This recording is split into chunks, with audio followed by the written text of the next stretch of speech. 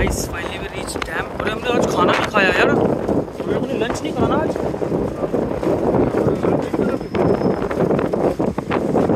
अच्छा, हाँ था भूल ही था यार। फाइनली डैम पे पहुँच चुके हैं। हमारे यार दोस्त ये खड़े हुए नहीं है वो निकल गए वो लोग। अब यहाँ से कहाँ जाना है ये नहीं पता। इधर है? हाँ। तो let's see guys hope for the best यहाँ पे बॉन बॉन बिस्कुट के मज़े लेते हुए।